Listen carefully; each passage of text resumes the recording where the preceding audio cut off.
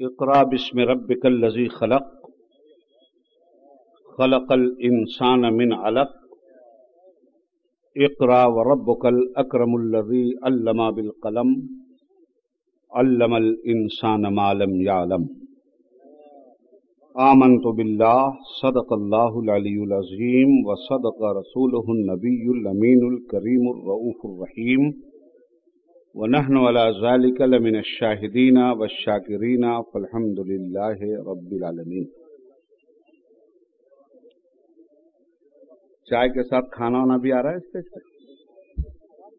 भाई मुझे एक 45 मिनट खिताब करना है अगर आपकी इजाज़त हो तो संजीदगी के माहौल में बातचीत हो जाए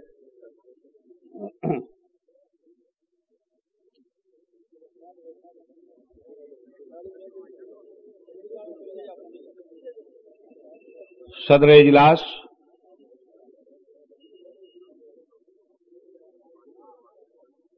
हज़रत मौलाना सैयद खालिद अशरफ साहब। शहजाद हजूर अशरफुलमा रहमत रिजवान। हज़रत मौलाना सैयद निज़ाम अशरफ साहब।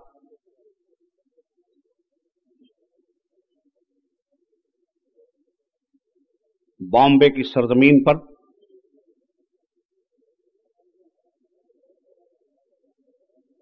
अहल सुन्नत व जमात की कदर मंजिलत में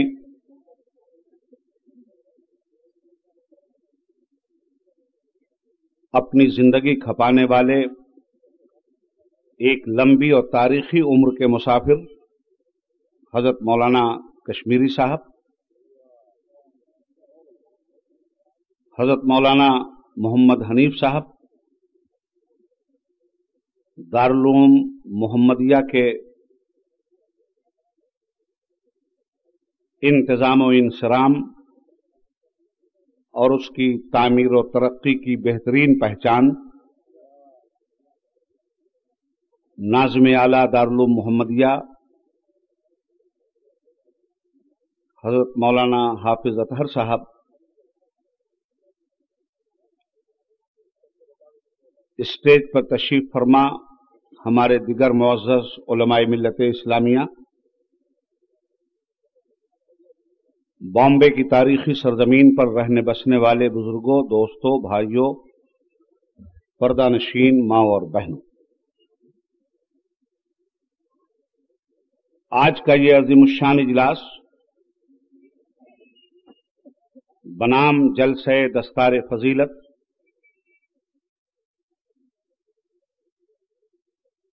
दारुलूम मोहम्मदिया की खिदमात के एतराफ में इस नूरानी शब में फ़िक्र फन के गौहर लुटा रहा है।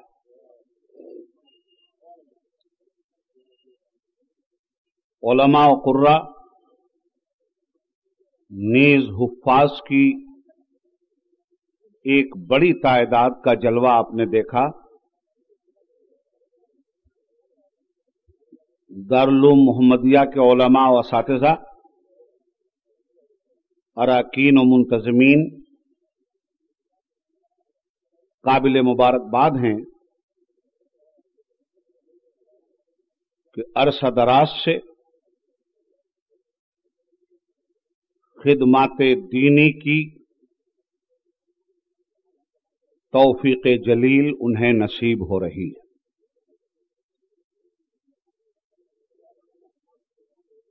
इस कारवान इल्म फरासत के रूह रवा। अब हमारी निगाहों से ओझल हैं। मगर हज़रत अशरफुलमा की रूह आज एक गुना सुकून महसूस करते हुए ज़ुबान हाल से ये कह रही है ये महर ताबा से कोई कह दे, वो अपनी किरणों को चुन के रख ले। ये महर ताबा से कोई कह दे, वो अपनी किरणों को चुन के रख ले, मैं अपने सहरा के जर्रे जर्रे को खुद चमकना सिखा रहा हूँ।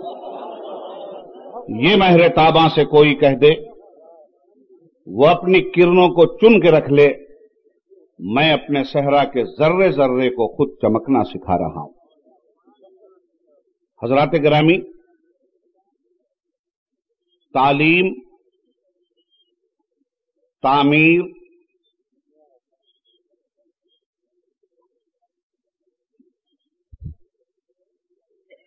ये दो ऐसे लफ्ज हैं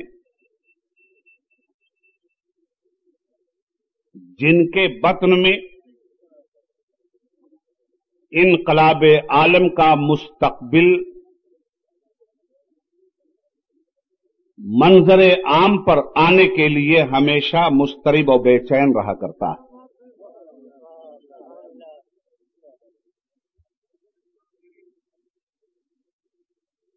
तालीम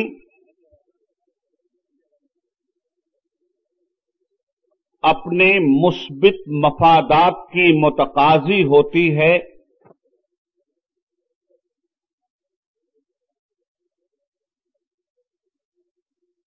तरबियत की।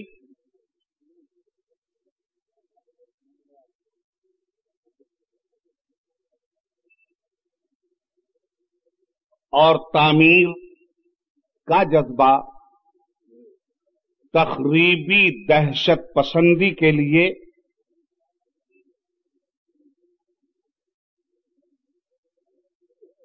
मेमारों की फिक्री बुनियाद बनता। है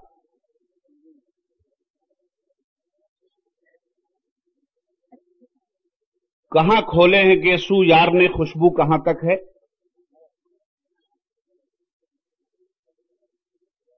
बिखरे हुए जर्रों की इज्तमाहीत का शूर हज़रत अशरफुल ओलमा की बेहतरीन काविश फिक्री का नतीजा है। और इस कारवान हयात को आगे बढ़ाने के लिए गिरा कदर इल्मी खिदमात जो हजरात भी सरंजाम दे रहे हैं,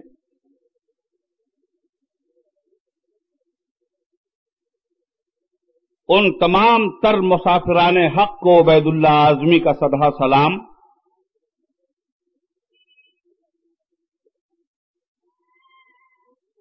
आपने मस्कूरा अशखास के असमाय ग्रामी मुझसे सुन लिए।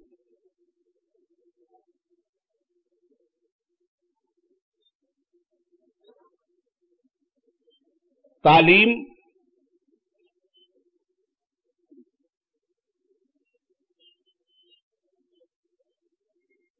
को साहब शरीयत ने रोशनी के नाम से मौसूम किया।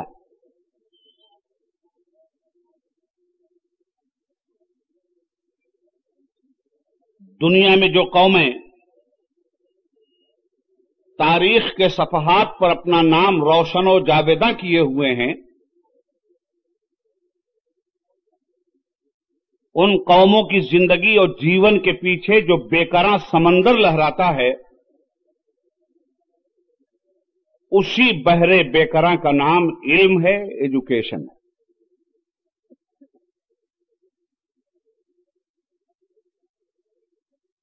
उस कौम को ज़िंदगी की किरणों से कोई महरूम नहीं कर सकता।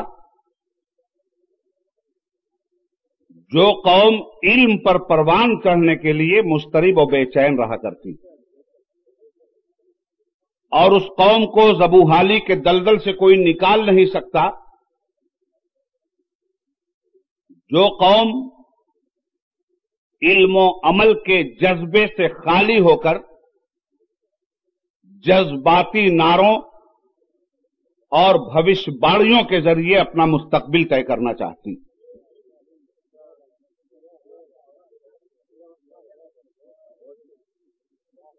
कसम है ऐसी बेदारी को बेदारी नहीं कहते कि आँखें जागती हों, आदमी की रूह सो जाए।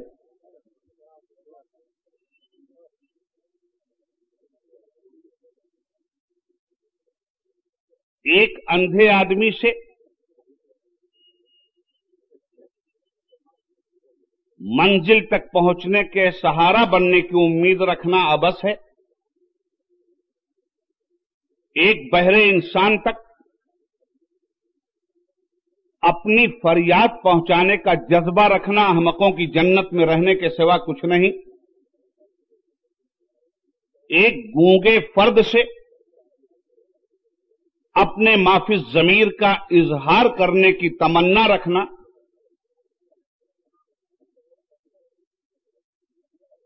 ख्वाब खरगोश की अलामत। एक लंगड़ा इंसान अपाहिजों की मदद नहीं कर सकता। एक अंधा इंसान दुनिया को रास्ता नहीं दिखला सकता। एक गूँगा इंसान हालात के तलातुम में मद्दो जज्र नहीं पैदा कर सकता।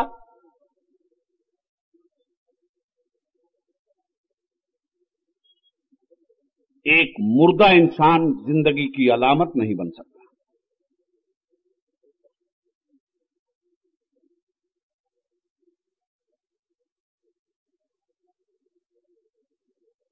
माथे पे चिपकी हुई देखने वाली आँखें, ये रोशनी की अलामत नहीं। ये सुनने वाले कान समाज की जमानत नहीं। ये बोलने वाली जुबानें नुत्क व्या की दलील नहीं। बहुत सारी आँख वाले इस दुनिया में गुजरे। कान रखने वाले इस दुनिया में गुजरे। ज़ुबान रखने वाले लोग तारीख के मंजरनामे में नज़र आए।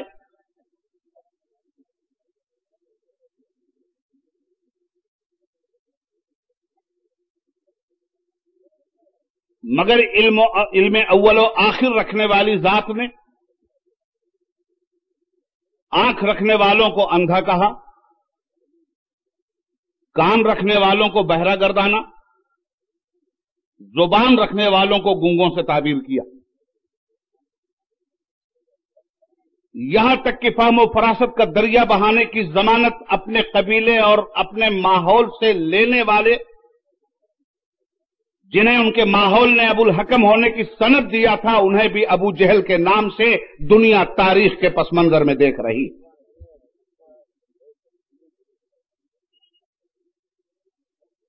वक्त ने साबित कर दिया है दोस्तों कि इल्म के बगैर नशेब फराज की गुत्थियाँ माहौल की कभी न सुलझाई गई हैं, न सुलझाई जा सकती। ये जो तगोदो मदरसों के ज़रिए हो रही है, ये जो तालीम के मैदान में आज की पूरी दुनिया दौड़ती हुई दिखलाई दे रही है, दुनिया के शर्क गर्ब शुमाल जनूब में आप जब एक अमीक जायजा लेने के लिए तैयार होंगे तो आपको कहीं तबाही दिखलाई देगी और कहीं आबादी। कहीं गुर्बतो अफलास से सबका पड़ेगा और कहीं खुशहाली का दबदबा दिखलाई देगा। इन तमाम तर चीज़ों के पीछे तालीम और अदम तालीम का फलसफा झकझोर ले रहा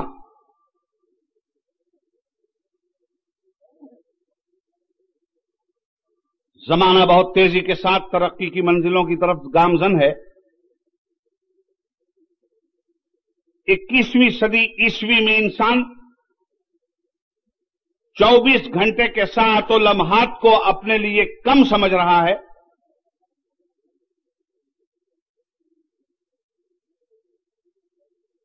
जिन हजरात ने इल्म से अपनी शैफ्तगी का इजहार किया है वो लम्हों को सदियों पे मोहित बना रहे हैं। और जिन हजरात ने इल्म बेजारी का ऐलान इजहार किया है, उनकी सदियाँ लम्हों की कीमत भी रखने के काबिल नहीं होती।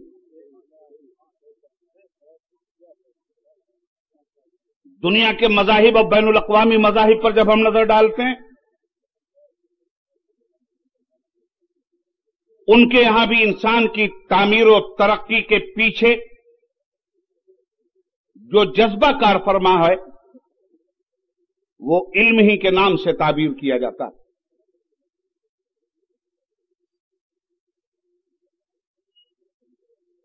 इल्म की कदर मंजिलत जिन लोगों ने की, चाहे अफराद की हैसियत से की हो या जमात की हैसियत से, दुनिया में वो मीर कारवा की हैसियत से देखे गए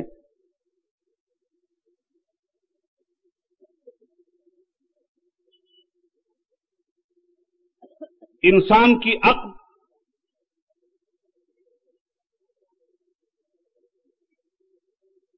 शको शुभात के सामने हमेशा झुकती हुई नज़र आई है और हकीकी इल्म इदराक से अगर इंसान महरूम रहा है और सिर्फ़ सनद याफ्ता आलिम होने की हैसियत से सामने आया है तो जात के बजाय सिफात के पर्दों में उलझ कर रह गया।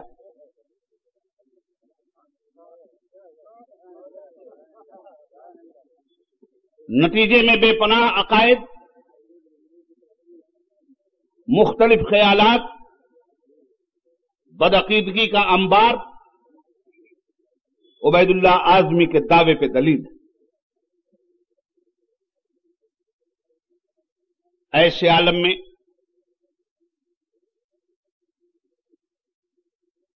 पास्ट का जब हम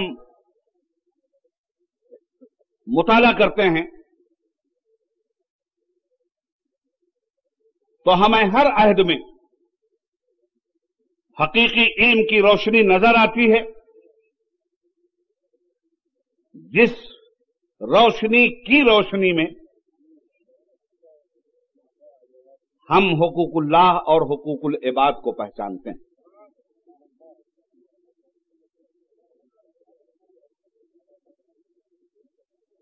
इल्म इंसान की खोई हुई कदरों को वापस लाता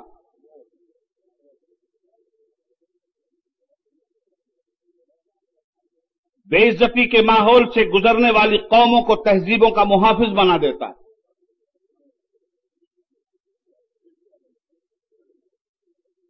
गुमगश्त हिदायत को जलालत के सेहरा से निकालता है और इल्म इरफान का मीर कारवां बनाकर खड़ा करता है।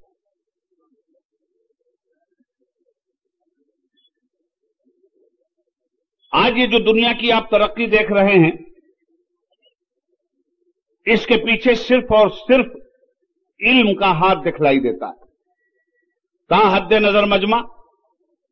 अगर उबैदुल्ला आजमी को सुन रहा है तो इस माइक के तवस्सु से सुन रहा है, जिसके पीछे एक जानकार और एक आलिम का जहनकार फरमा।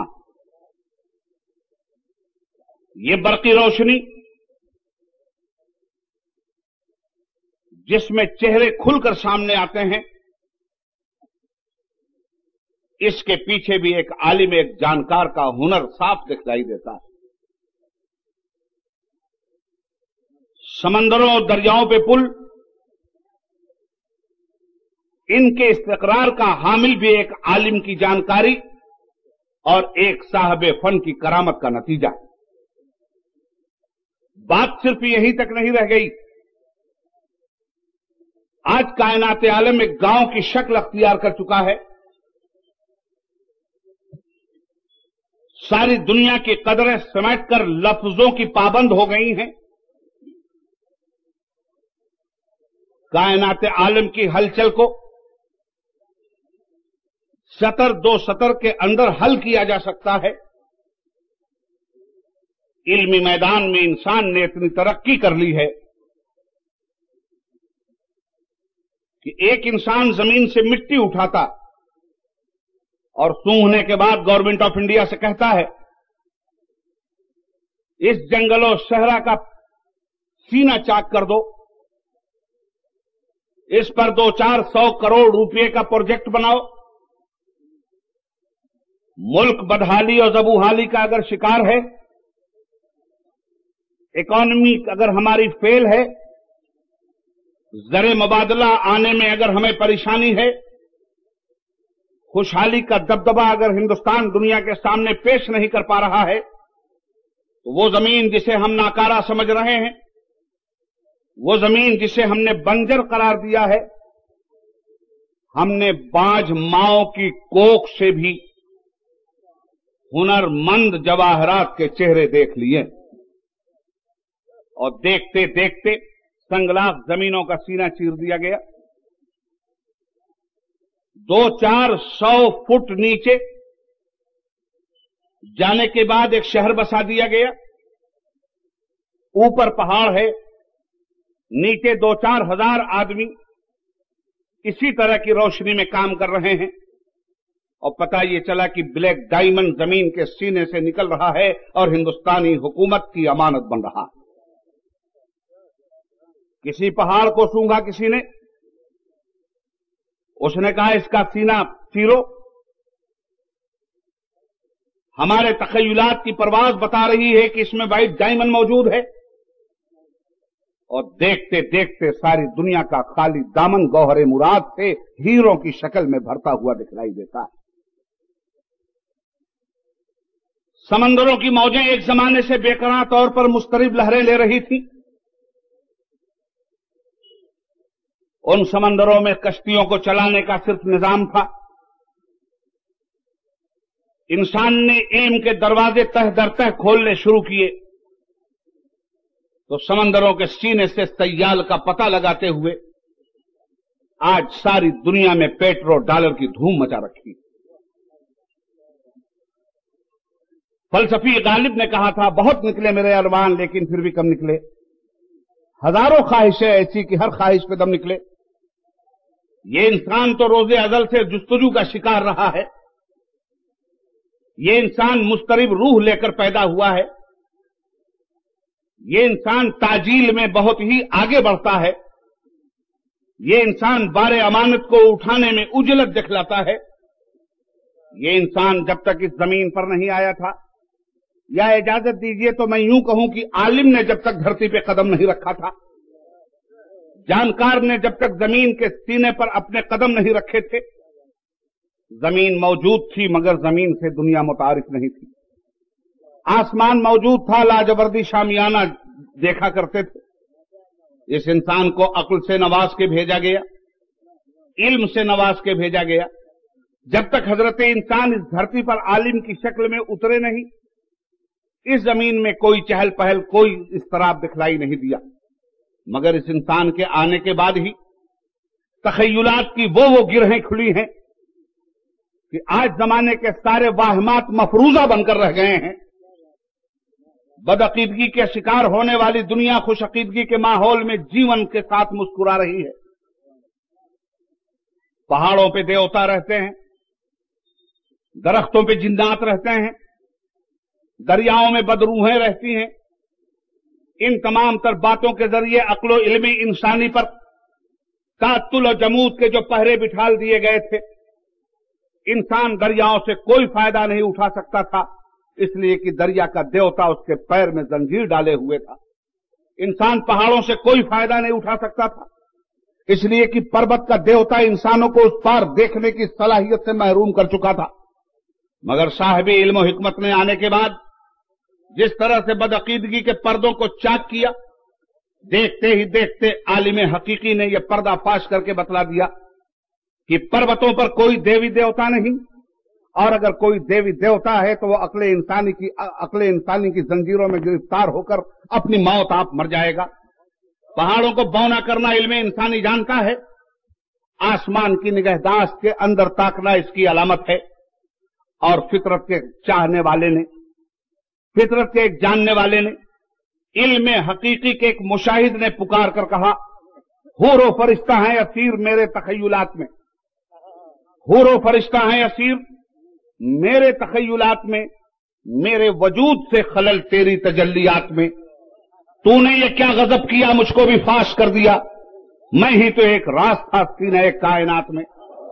सीन कायनात का राज जब ज़मीन पर उगल दिया गया सीन कायनात का राज जब खलीफा अर्जी बनकर आया, खिलाफत अर्जी का जब मुस्तक बनकर के ये खड़ा हुआ, फरिश्तों को कुछ खिलाफत अर्जी के मुस्तहक के बारे में चुनानचे, अगरचे, मगरचे की गुंजाइश दिखलाई दी इन आलमो माला तालमून कह के उन्हें चुप करा दिया गया, और सिर्फ़ चुप कराने पे बस नहीं किया गया, बल्कि इल्म के जलवे भी उनके सामने रखे गए और दलाइल के लिए कायनात आलम के अव्वल इंसान को खड़ा कर दिया गया।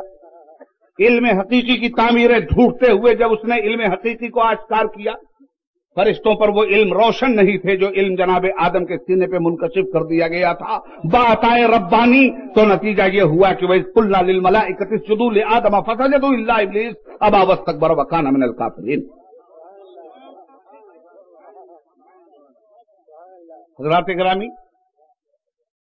आइए आज कायनात में देखिए क्या हो रहा है।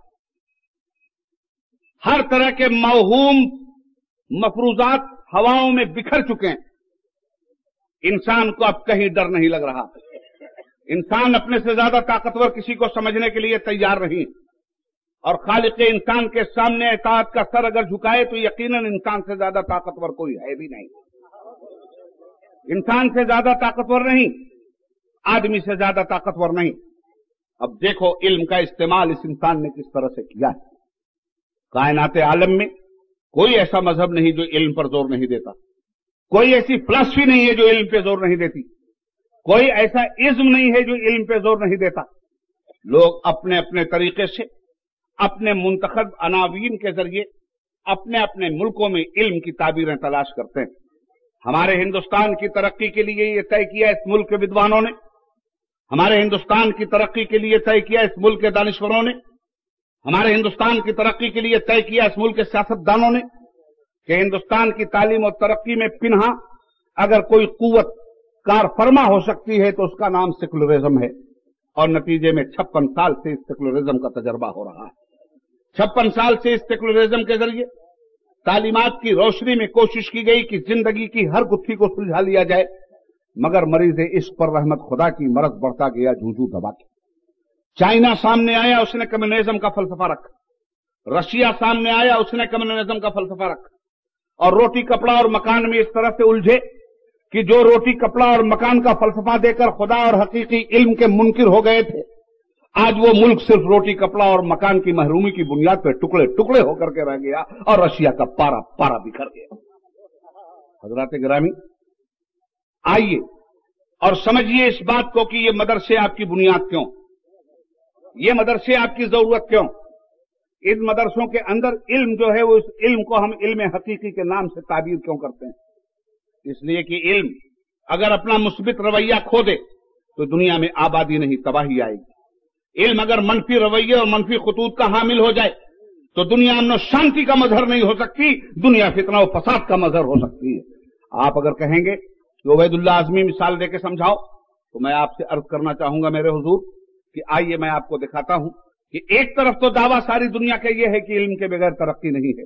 एक तरफ़ सारी दुनिया का दावा यह है कि इल्म ही के ज़रिए इंसान परवान करता है, आदमीयत परवान करती है और माहौल तरक्की की राह से दो चार होता है। तो अगर यही बात है तो आप मुझे बताइए इल्म की इतनी तारीफ़ जो आप करते हुए जा रहे हैं। इल्म से फ़ायदा दुनिया को क्या मिला?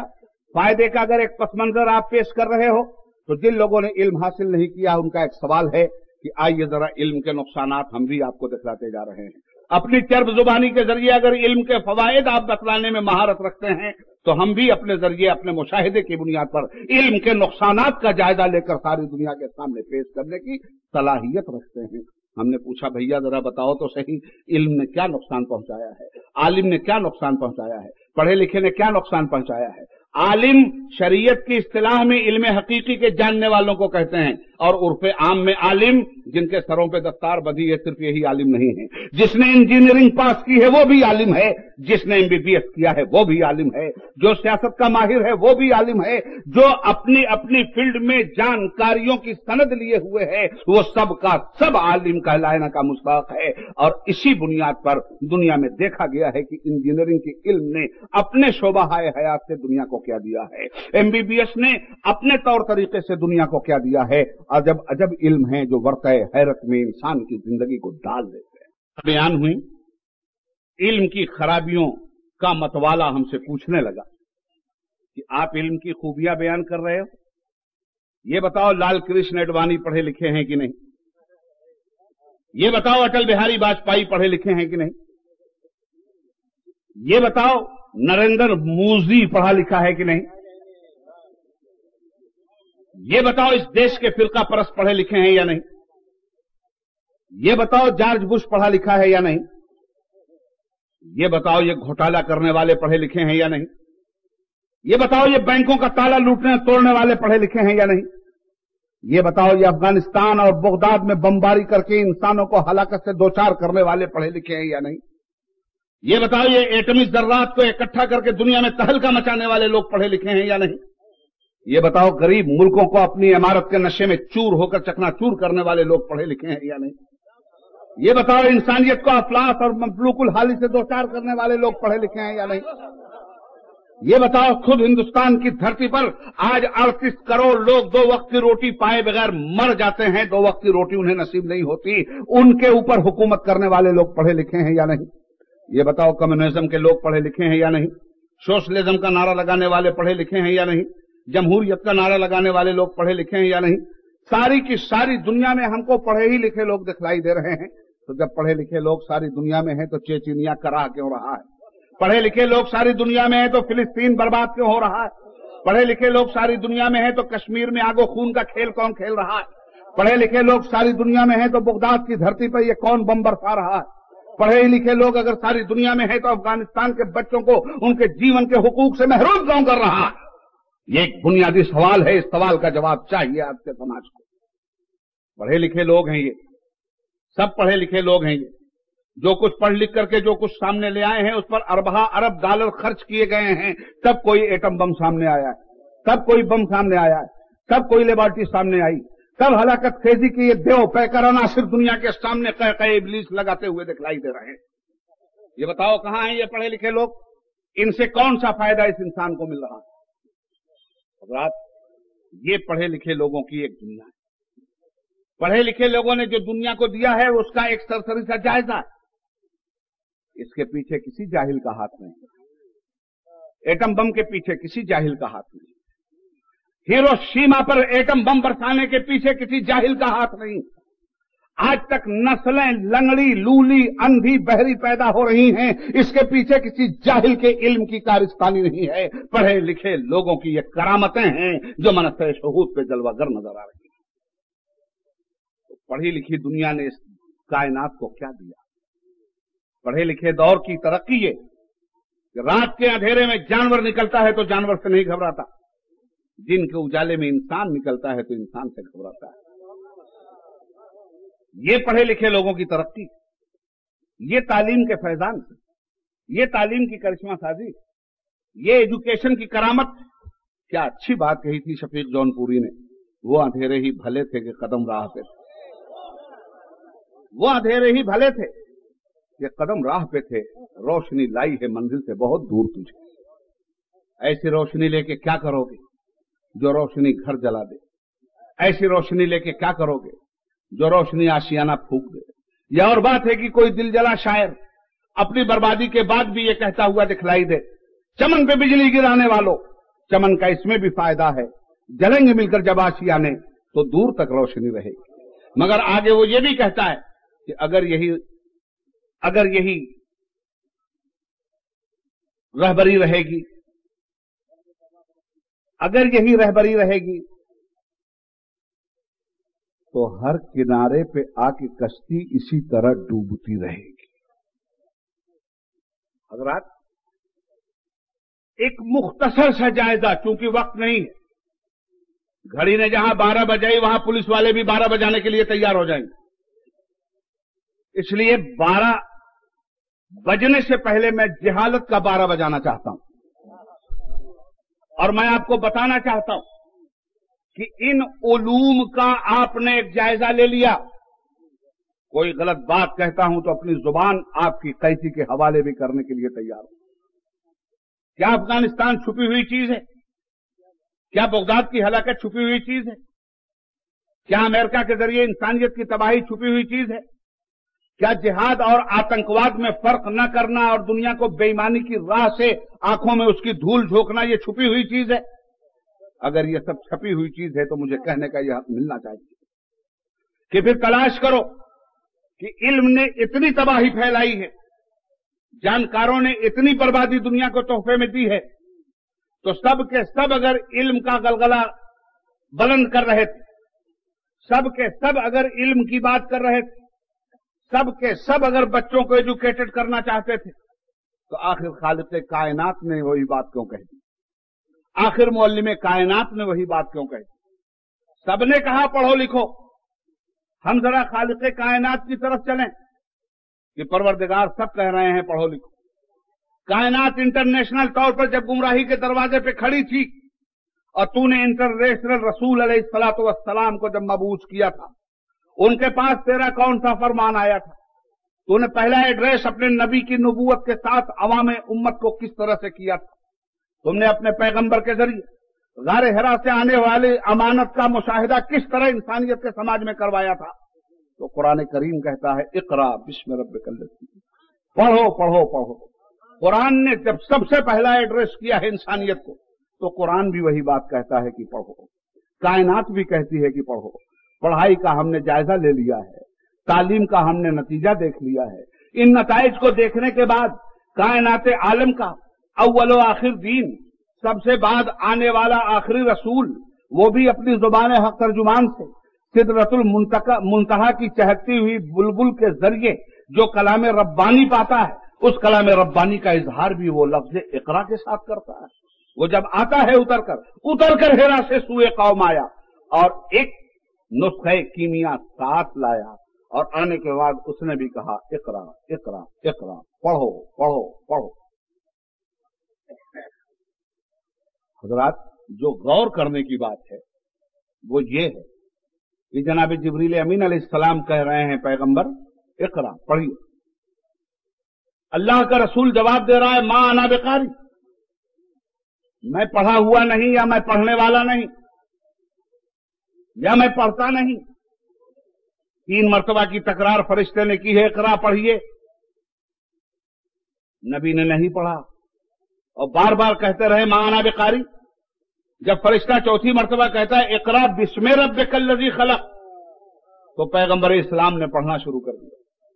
पैगंबर इंसानियत आदमीयत ने पढ़ना शुरू कर दिया। पैगंबर तहजीब व तमद्दुन ने पढ़ना शुरू किया। पैगंबर इल्म हिकमत ने पढ़ना शुरू किया। पैगंबर खुदी व खुदा ने पढ़ना शुरू किया।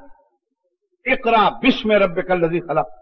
पढ़िए अपने रब के नाम से। यही आपके जहन को बहुत दूर तक लखनऊ की भूल भुलैया में न ले जाते हुए बॉम्बे के इस सीधे सादे मैदान में क्लियर कर दूँ कि तमाम पर तालीमत पे नज़र डालिए, सेकुलरिज्म के नाम की भी तालीम आपके सामने है, कम्युनलिज्म के नाम की तालीम भी आपके सामने है कम्युनिज्म के नाम की भी तालीम आपके सामने है, सोशलिज्म के नाम की भी तालीम आपके सामने है हर इज्म के नाम की तालीम आपके सामने है।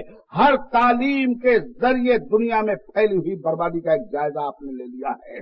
अब इस्लामी तालीम में इकरा कहने के बाद ही बात नहीं चलती कि पढ़िए। इकरा के साथ बिस्म रब नजी की जो शर्त लगाई है कुरान ने, पढ़िए रब के नाम से तो यही तजिया सामने हो जाएगा कि सबके नाम की तालीम की तबाही देखो और रब के नाम के ज़रिए तबाही को बर्बाद करके आबादी आज़ादी का चश्मा किस तरह से फैलता है, उसका भी एक जायजा उबैदुल्ला आजमी लेना चाहिए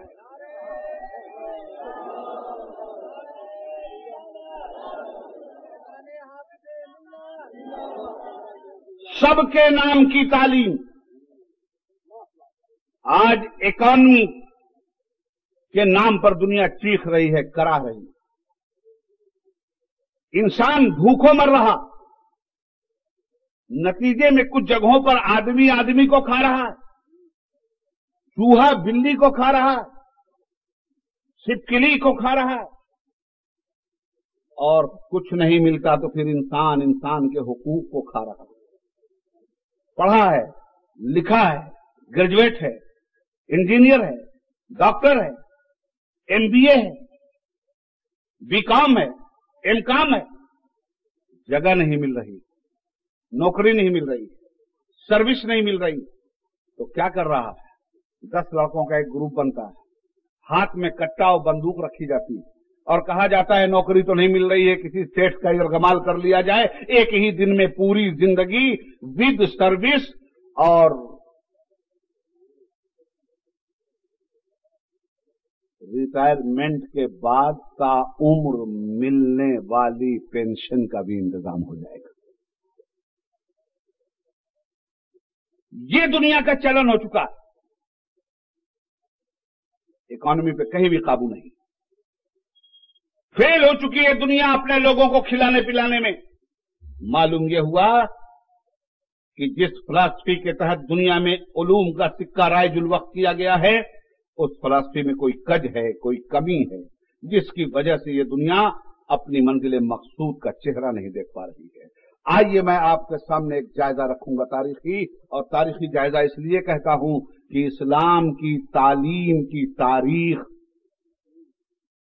तारीख की भरपूर रोशनी के फिक्री कैमरे में कैद है। चौदह सौ साल पहले निकलने वाला इनकलाबी सूरज अपनी एक एक किरण के साथ कायनात आलम पे मुस्कुरा रहा। इतनी सच्ची तारीख तो दुनिया के किसी इज्म की हो ही नहीं सकती। इतनी लेटेस्ट तारीख तो दुनिया के किसी मज़हब और फलसफा की हो ही नहीं सकती। कुल चौदह सौ साल। और इस चौदह सौ साल में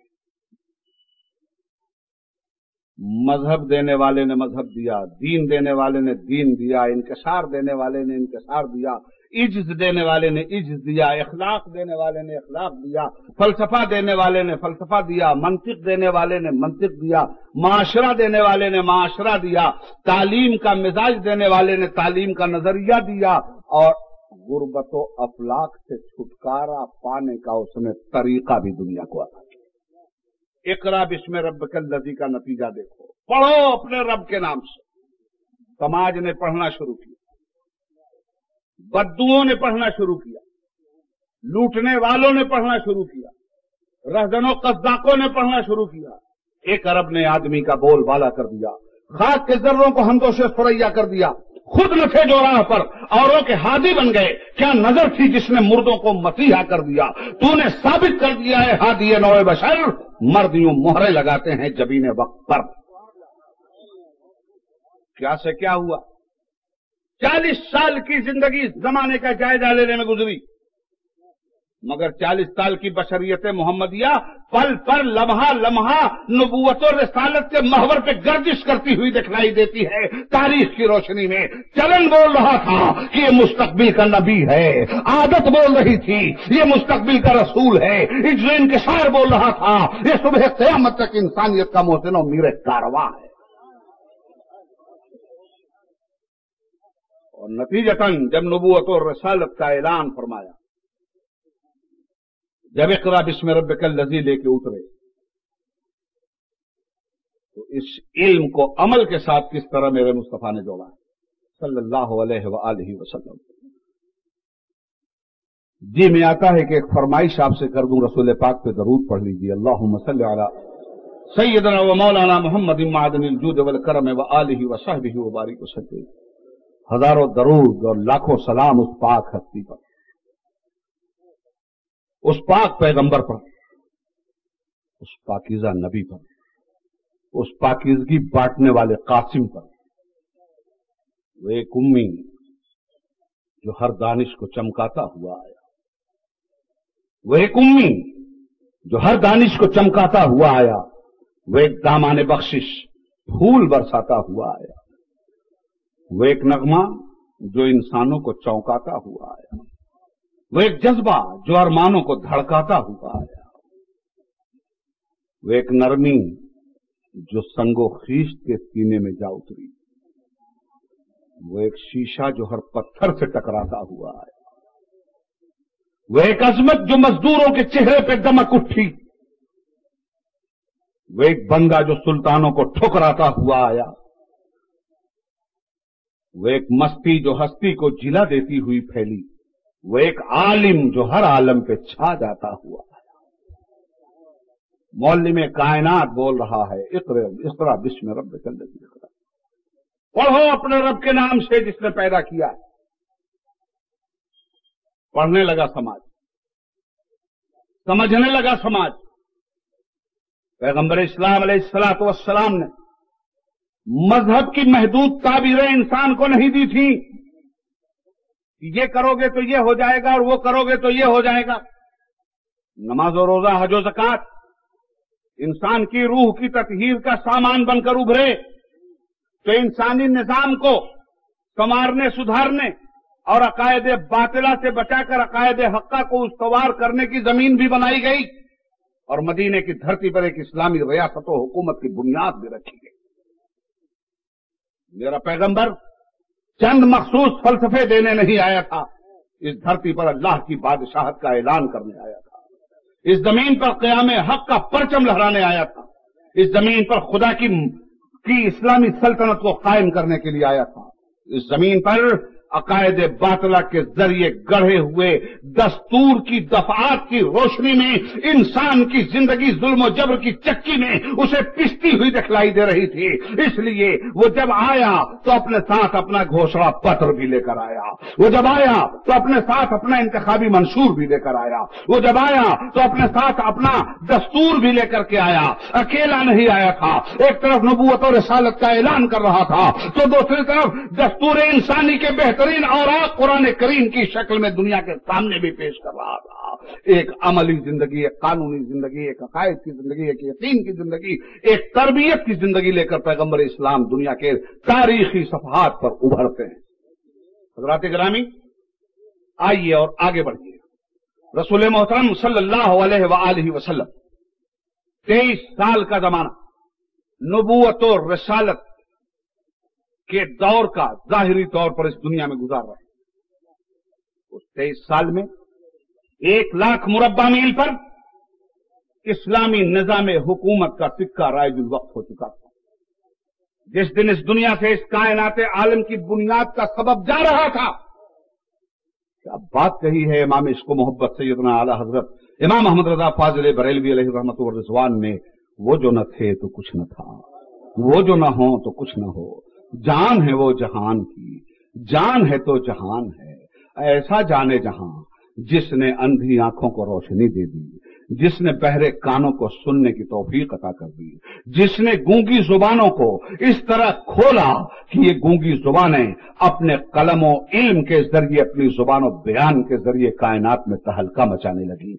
हजरात सरवर कौन मका सल्लल्लाहु इस दुनिया से फलसफे माशियात देकर तशरीफ़ ले गए थे। और नतीजे में हज़रत अबू बकर के जमाने में जब फलसफे माशियात को धक्का लगने लगा, जब इस्लामी फलसफे माशियात इकोनॉमी से कुछ लोगों ने गद्दारियाँ की तो वक्त का सबसे बड़ा सिद्दीक उभर कर सामने आया और उसने कहा, माने इन्हें जक़ात से जब तक एक एक रस्सी का हिसाब नहीं कर लूँगा। इस्लामी तलवार म्यान से जो बाहर निकली है, वो म्यान के अंदर नहीं जानेगी। एक एक रत्ती का हिसाब लिया जाएगा, जो लोग जक़ात का इनकार कर रहे हैं। जहाँ जहाँ कुरान ने कहा अकीमुसलात वही वही कुरान कहता है वह आतुस जक़ात, नमाज़ कायम करो, जक़ात दो। नमाज़ कायम करो, जक़ात दो। जक़ात देने की अहमियत को और इस फ़र्ज़ की हैसियत को सहाबा ने समझा था। इकरा बिस्म रबिकल लजी की मानवी ताबीर करने वालों ने समझा था। और नतीजे में वह अकीम अकीमुसलात के साथ वह आतुस जक़ात का जलवा इस तरह दुनिया के सामने रोशनी की शक्ल में उन्होंने बखेरा कि सैदना फारूक आज़म रज़ी अल्लाह तु के दौर में इकॉनमी पर इस तरह काबू पाया गया। उस कल्लाश माहौल के अंदर, उस सहरा के अंदर, उन सहरा नवर्दों ने इकरा बिस्म रबिकल लजी की तालीम का वो जादू जगाया कि हज़रत फारूक आज़म ने अपने दौरे हुकूमत में ऐलान किया, अपने सारे गवर्नरों को अपना फरमान जारी किया कि तुम्हारे सूबों में आमिलीन जक़ात जक़ात की रकम इकट्ठा करें और जक़ात की रकम इकट्ठा करने के बाद वो जक़ात की रकम दारुल खिलाफा न भेजी जाए, मदीना न भेजी जाए, सेंटर में न भेजी जाए, बल्कि सूबा के गरीब और मफलूक हाल मुसलमानों पर और इंसानों पर वो जक़ात की रकम खर्च की जाए। सारे लोगों तक फरामीन पहुँच चुके थे और उसके बाद यमन के गवर्नर ने जक़ात की बहुत बड़ी रकम जब मदीना तैयबा भेजी तो फारूक आज़म ने तलब किया और पूछा, क्या हमारा फरमान तुम तक नहीं पहुँचा था? हमने ये कहा था कि हर सूबे के लोगों तक ये जक़ात की रकम इकट्ठा करके गरीबों को दे दी जाए, ताकि उन्हें आसूदगी का माहौल मिले। कहने लगे, गवर्नर, सरकार आपका इकबाल सलामत हो। सरकार इस्लाम का फलसफे माशियात सलामत रहे। सरकार इकरा बिस्म रब लजी की बरकत सलामत रहे। हम तो अल्लाह के नाम की बरकत से उलूम हासिल किए हुए फलसफे माशियात का हल जब ढूँढने के लिए निकले तो इस्लाम का निज़ाम जक़ात और इस्लाम का निज़ाम माशो मीशत इतना ज़्यादा तरक्की पजीर साबित हुआ कि पूरे सूबे यमन में एक इंसान भी हमें ऐसा मुस्तक नहीं मिला, जो इंसान ये रकम लेने के लिए तैयार हो। जिसके पास रकम हम भिजवाते थे, वो खुद एक रकम लिए हुए खड़ा होता था कि मैं तो खुद ही हकदार को तलाश कर रहा हूँ, मैं तो खुद ही मुस्तक को तलाश कर रहा हूँ, कोई मुस्तक नहीं मिल रहा है, मैं क्या करूँ? इस तरह से ये रकम इकट्ठा करके मदीने भेजी गई है। कोई ज़्यादा दिन की बात नहीं है, सिर्फ़ चौदह सौ साल की तारीख के फिक्री कैमरे में ये बातें कैद है। मैं दुनिया के फलसफे, माशियात के दाना बीना, दानिश्वरों से ये कहना चाहता हूँ अः लोगो, हर फलसफे के ज़रिए तुमने इंसान की भूख और प्यास पे कब्जा पाने की कोशिश की है। हर इल्म के ज़रिए तुमने इंसान की मखलूकुल हाली और गुर्बत अफलास को खत्म करने की कोशिशें की हैं, मगर तुम्हें नाकामी अगर हाथ आई है तो एक मरतबा अपनी पार्लियामेंट के दस्तूर को हटाकर कुरान का दस्तूर जरा सा नाफिज कर दो।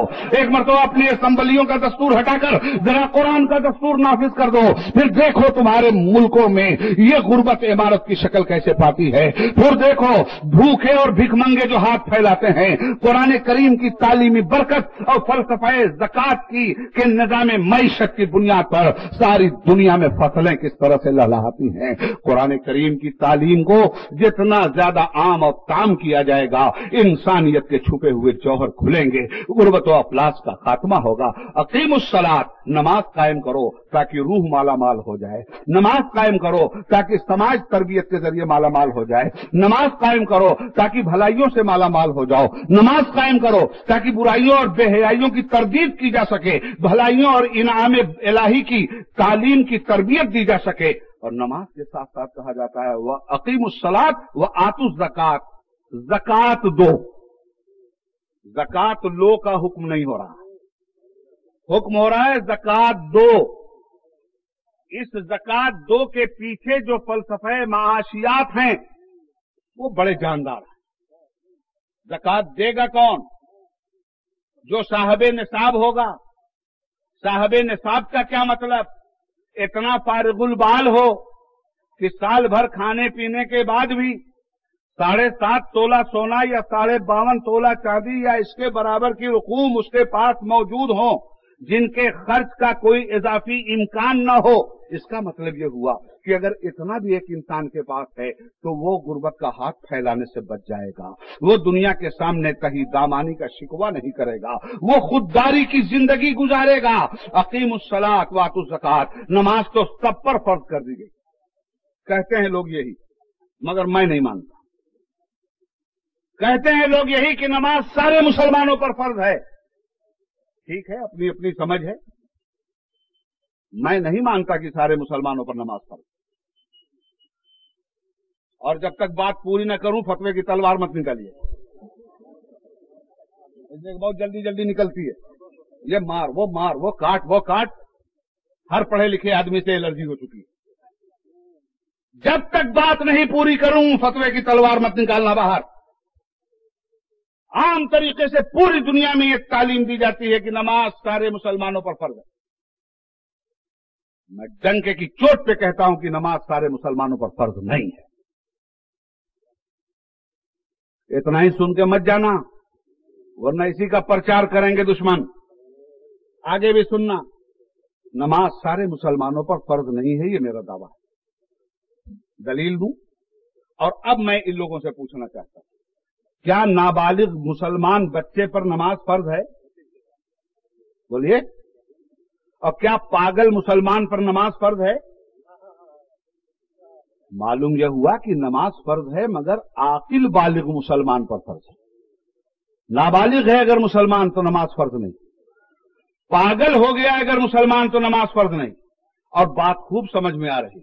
जो लोग, मैंने नतीजा भी निकाला जो लोग पंचवक्ता नमाज़ पढ़ते हैं वो तो साबित कर देते हैं कि हम आकिल बालिग मगर जो नमाज़ नहीं पढ़ते, वो साबित करते हैं कि या तो अभी तक हम बालिग नहीं हुए हैं, या हम पागल हो चुके हैं, जिसकी बुनियाद पे हम नमाज़ नहीं पढ़ते।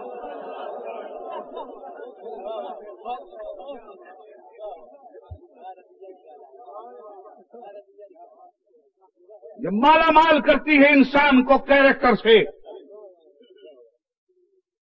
और आगे कुरान करीम कहता है, वह आतुस जक़ात। इसमें माशियात का फलसफा छुपा हुआ है। रब के नाम से पढ़ो ना। जक़ात दो। तो जक़ात कौन दे? गरीब, फकीर, मिस्कीन? नहीं।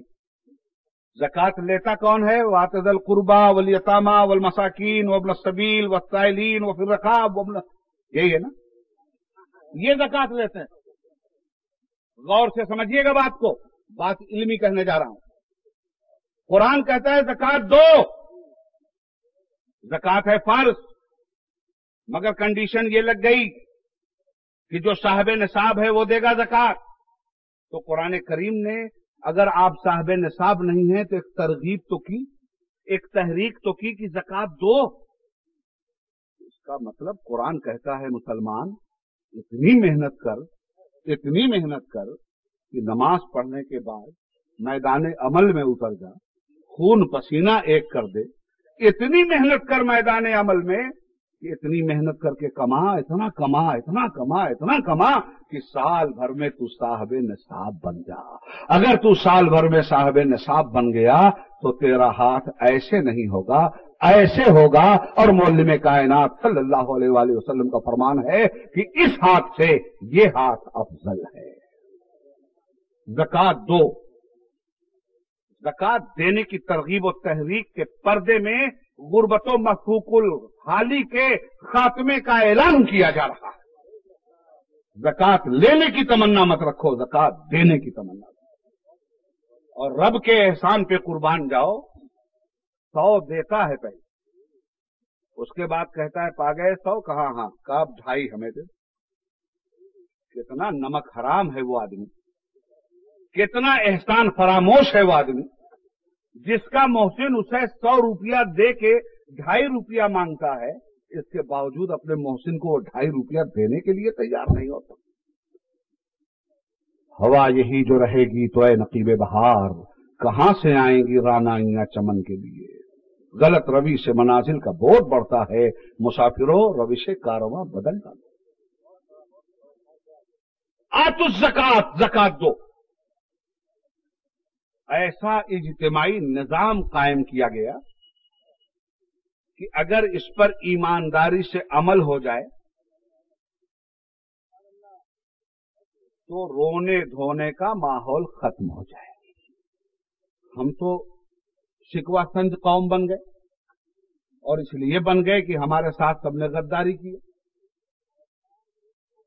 हमारा हक देने की बात तो सबने की, छप्पन साल से कर रहे हैं, मगर छप्पन छुरी हमेशा चलाते हैं। आ गया ना? इलेक्शन आ गया। लंबे लंबे वादे फिर आ जाएँगे। फ़िक्र मत कीजिएगा। मुकैयद कर दिया, सांपों को ये कहकर सपेरों ने इलेक्शन का दौर है ये। मुकैयद कर दिया। सांपों को ये कहकर सपेरों ने, ये इंसानों को इंसानों से डसवाने का मौसम है। ये इंसानों को इंसानों से डसवाने का मौसम है। सब कुछ लेते रहे, कुछ नहीं दिया। और देंगे भी क्या?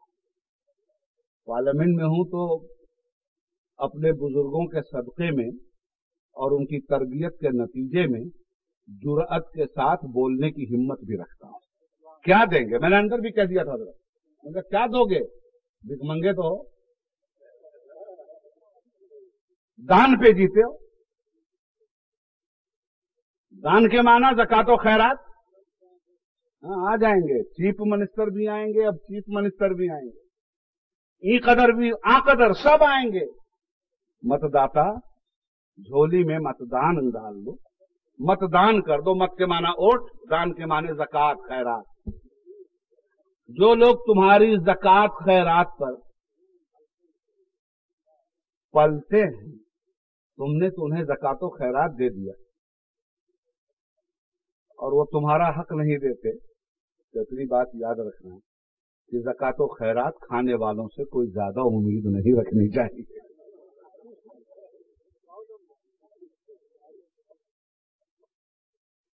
जक़ात खैरात देने वालों से उम्मीद रखनी चाहिए। देने वालों तुमसे ये वादा करते हैं, नहीं देते। और तुमको देने का जिसने वादा किया था, उसके दरबार में तुम जाते नहीं। जब मैं कहता हूँ कि या अल्लाह, मेरा हाल देख, हुक्म होता है कि अपना नाम है अमाल दे तो हम इन दुनियादारों के अगर इतने ही वफादार हम अपने परवरदिगार के बन जाए तो मामला कुछ का कुछ हो जाए। मुझे पीरो मुर्शिद याद आए, सरकार गौसुल आज़म याद आए। फरमाते हैं ऐ इंसान। अल्लाह से इतना तो शर्मा जितना अपने एक दीनदार पड़ोसी से शर्माता है। इंसान, अल्लाह से इतना तो शर्मा जितना अपने एक दीनदार पड़ोसी से शर्माता ये इकरा बिस्म रबिकल लजी खलक की तालीम का नतीजा गौसुल आज़म की ज़ुबान से इजहार की शक्ल में सामने आ रहा।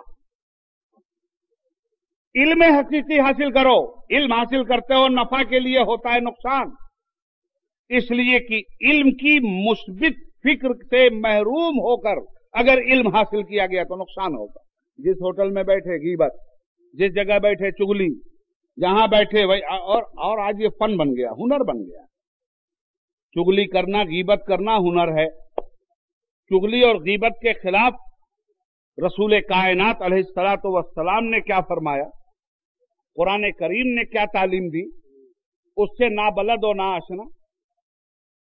गीबत हो रही है, चुगली हो रही है। फिर मैं आपको बताऊँगा, इकरा बिस्म रबिकल लजी के सच्चे हामी सरकार सैदना गौसुल आज़म महबूब समदानी।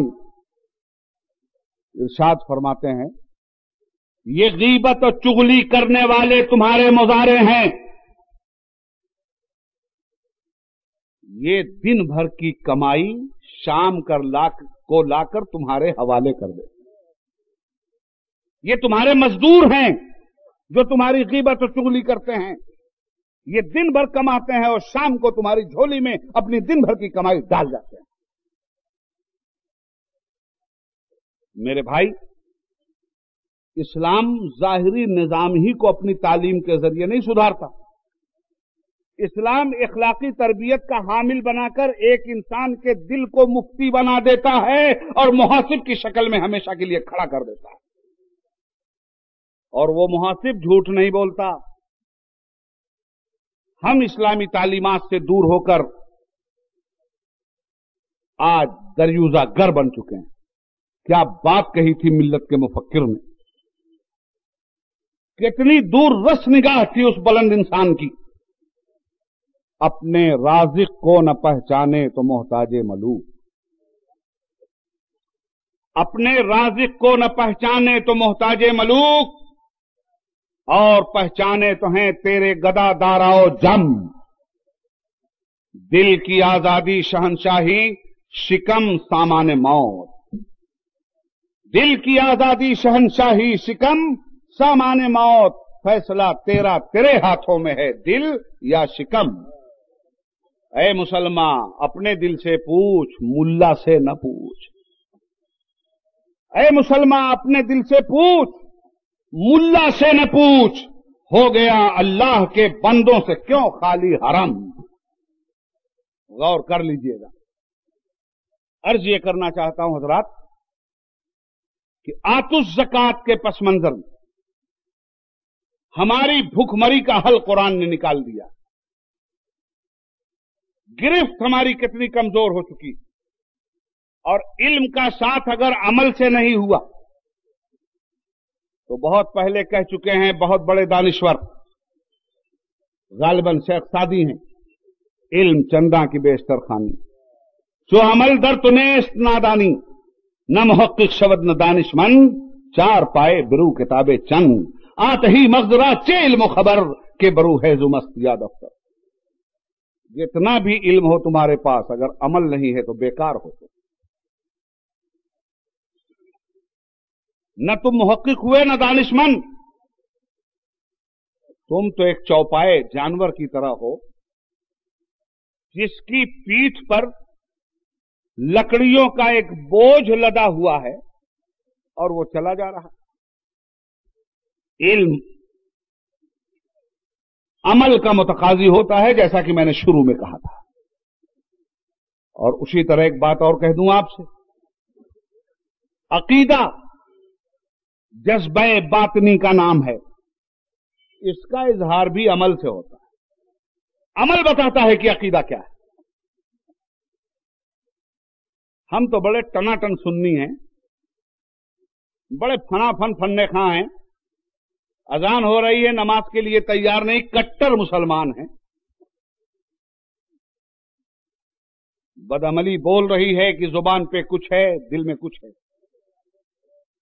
इसलिए हिंदुस्तान की धरती पर हकीकी इल्म के वारिस ने बरेली की टूटी हुई चटाई पे जो कुछ कहा था, उसे वसीयत के तौर पर इमाम मोहम्मद रजा फाजले बरेलवी अली रहमत रिजवान के शेर की शक्ल में गिरह बाँध लो। आज ले उनकी पना आज मदद मांग उनसे। कल न मानेंगे कयामत में अगर मान गया। उन्हें जाना, उन्हें माना, न रखा गैर से काम। लिल्लाहिल हमद में दुनिया से मुसलमान। पढ़ो। और रब के नाम से पढ़ो। रब के नाम से पढ़ने के बाद दुनिया की कोई भी ऐसी तालीम नहीं है जिसको हासिल करने का से इस्लाम ने मना किया। कठहुज्जती से कोई फ़ायदा नहीं। हर तालीम हासिल कीजिए, इसलिए कि तालीम तालीम है। इल्म इल्म है, हिकमत हिकमत है। और नबी कौनैन सलाम ने हर उस इल्म को हासिल करने का रास्ता अपनी इस हदीस की रोशनी में हमें दे दिया है, जिसमें मेरे मुस्तफ़ा तहियत वसना इसाद फरमाते हैं, हिकमत मोमिन की मताए गुमशुदा है। जहाँ भी मिले ले लो। तो जब हिकमत मोमिन की मताए गुमशुदा है, जहाँ भी मिले ले लो तो फिर ये क्यों देखते हो कि ये तो फला का है, ये तो ढेका का है, वो तो फला का है? अगर इल्म है वहाँ, हिकमत है वहाँ, दानिशमंदी है वहाँ, ले लो, ये तुम्हारा ही माल है, तुम्हारी ही चीज़ है, दूसरे के घर में पड़ी हुई है माल तुम्हारा। बजाय इसके कि दूसरे के घर में पड़ा हुआ माल हम वापस ले आते, अपने ही घर में पड़ा हुआ माल नाकदरी से हमने बाहर कर दिया, तेरे दामन में है किस लालो जवाहर की कमी तू किसी गैर के दामन की तरफ़ क्यों देखे इसलिए मुसलमानों, ये जो मदारिस तालीम दे रहे हैं, इनकी तालीम के नतज पे नज़र डालो। इनकी तालीम की तामीर पे नज़र डालो। इनके ज़रिए पैदा होने वाली तकरीब पर नज़र डालो। इसलिए कि इल्म के मनफी रुझाना तकरीब पैदा करते हैं। और इल्म के मुस्बित रुझाना तामीर का रास्ता मुहैया करवाते हैं। हर इदारे की तालीम पर नज़र डाल लीजिए। मदरसों की तालीम पे भी नज़र डालिए। अगरचे मदरसों की तालीम और तरबियत में अभी बहुत कमी मगर हज़ार कमी के बावजूद दूसरे इदारों की कमियों का जब हम तकाबुली मुताला करते हैं तो हमें बताया जाए कि कॉलेज और यूनिवर्सिटियों से मुल्क के कितने गद्दार निकले और मदरसे दारुलूम से मुल्क के कितने गद्दार निकले। कॉलेज और यूनिवर्सिटियों से मुल्क को बेचने वाले कितने पैदा हुए और मदरसों से मुल्क को बेचने वाले कितने पैदा हुए। कॉलेज और मदरसों से निकलने वाले, कॉलेजों और यूनिवर्सिटियों से निकलने वाले, मुल्क के खिलाफ जासूसी करने वालों की तादाद क्या है? और मदरसों से निकलने वालों की मुल्क के खिलाफ जासूसी करने की तादाद क्या है? ये मोटे मोटे आंकड़े दे रहा हूँ मैं आपको। अगर आप इन आंकड़ों के ज़रिए देखिएगा तो मदारिस के मुकाबले में कॉलेज और यूनिवर्सिटियाँ टॉप हैं, बल्कि उनका कोई मुकाबला कर ही नहीं सकता। मदारिस में मुझे एक तो दिखला दो। अगर मदारिस में मुल्क के ताल्लुक से मदरसों में तालीम पाने वाले लोगों के की ज़िंदगी सामने आई है तारीख की रोशनी में तो फजल हक खैराबादी बनकर आई है जिसने काला पानी की सजा पाई है। मौलाना हसरत मुहानी बनकर आई है, जिसने इनकलाब जिंदाबाद का नारा दिया है। मौलाना शौकत अली गौहर और मौलाना मोहम्मद अली जौहर बनकर आई है, जिन्होंने गांधी जी को लिखा था इंग्लैंड की सरजमीन से जब गोलमेज कॉन्फ्रेंस में गए थे। ये मदरसों की पैदावार के कारनामे सियासी एतबार से मुल्क के हवाले से मैं आपको बताना चाहता हूँ। ये मदरसों के निकलने वाले लालो गोहर वहाँ से कह रहे थे माई डियर मिस्टर गांधी मैं अपने मुल्क की आज़ादी की तहरीक इंग्लैंड में चला रहा हूँ। अगर हिंदुस्तान को आज़ाद करवा लिया तो मैं आज़ाद हिंदुस्तान का तमगा लेकर इंग्लैंड की धरती से अपने भारत में वापस आऊँगा। और अगर आज़ादी की तहरीक चलाते चलाते मेरी रूह कफ से उन सुरी को परवाज कर गई, मेरे नब्जे हस्ती डूब गई और मेरी आँखों का पानी फिर गया तो मिस्टर गांधी, मेरे मरने के बाद अगर हिंदुस्तान आज़ाद हो जाए तो आज़ाद हिंदुस्तान में मुझे दफन करना। और अगर हिंदुस्तान गुलाम रहे तो मुझे गुलाम मुल्क में दफन मत करना। किसी आज़ाद मुल्क में मुझे दफन करना, ताकि उस आज़ाद मुल्क से मेरी बेचैन रूह हिंदुस्तान के जवालों को आवाज़ दे। सरहदों पर अभी संघर्ष के बाकी है निशान साथियों, और बढ़ो और बढ़ो और बढ़ो। फिर भी हमसे ये गिला है कि वफादार नहीं। मदारिस से निकलने वाले ओलमा ने मुल्क को कहीं शर्मिंदा नहीं किया। मिल्लत को कहीं शर्मिंदा नहीं किया। मेल जोल के साथ रहने वाली सलाहियतों को कहीं मरने नहीं दिया है। मदरसों पे जितने भी इल्ज़ाम हैं, ये तासुब की बुनियाद पर है। चमगादड़ों को सूरज की रोशनी देखते ही अंधेपन का एहसास होता है, इसलिए चमगादड़ सूरज को गाली देते हैं।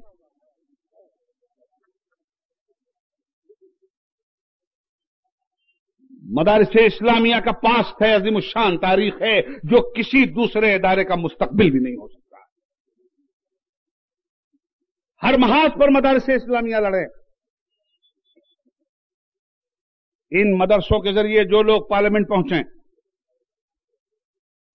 जो लोग असेंबली पहुँचे, जो लोग सियासी दिगर इदारों में पहुँचे, उनके भी खान पान का जायजा ले लो। उनके भी माल का जायजा ले लो। मेरे बारे में भी बहुत शोर है कि हिंदुस्तान खरीद सकते हैं। मैं न हिंदुस्तान खरीद सकता हूँ, न हिंदुस्तान बेच सकता हूँ। हिंदुस्तान मेरा है, न खरीदा जा सकता है, न बेचा जा सकता है। वो कोई और है खरीदने और बेचने वाले। और बेचा लोगों ने? खूब बेचा हिंदुस्तान को। फौजी नक्शे बेचे, इस मुल्क की आबरू बेची, इस मुल्क की ततहीर बेची। इस मुल्क का कानून बेचा। बाबरी मस्जिद की शक्ल में, उसके मलबे की शक्ल में पार्लियामेंट का वकार और अदलिया की तहजीब को दफना के रख दिया। हजरात, बहुत कुछ कहने को जी चाहता है, मगर मैं अपनी गुफ्तगु समेटते हुए बहालत मजबूरी, इतना कहना चाहूँगा आपसे कि इन मदारिस से निकलने वाले ओलमा की ज़िंदगी पे एक नज़र डालिए। मैं किसी को भी दूध का धुला हुआ नहीं कहता।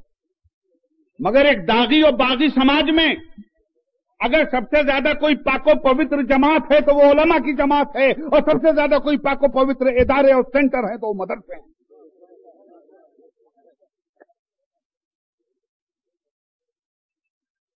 इन मदरसों से निकलने वाले ओलमा को कितनी सर्विस मिल रही है? स्कूलों से, कॉलेजों से, यूनिवर्सिटी से निकलने वाले तो सर्विस हासिल करते हैं ना? इनको कितनी मिल रही सबसे बड़ी दौलत है कनात।